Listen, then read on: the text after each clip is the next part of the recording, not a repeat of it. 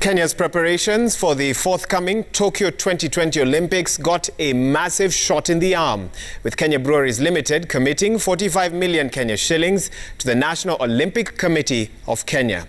KBL, through their flagship brand Tusker, will be an official partner of Team Kenya, and the 45 million Kenya shillings will go into helping the athletes due to compete in the Summer Games from the 23rd of July to the 8th of August. It will aid in their preparations. Now, as part of the partnership, KBL will also be involved with the production of the traveling kit for the Kenyan team heading to Tokyo. NOC President Paul Tergat took this opportunity to express his expectations for positive performances from the Kenyan athletes during the Olympics.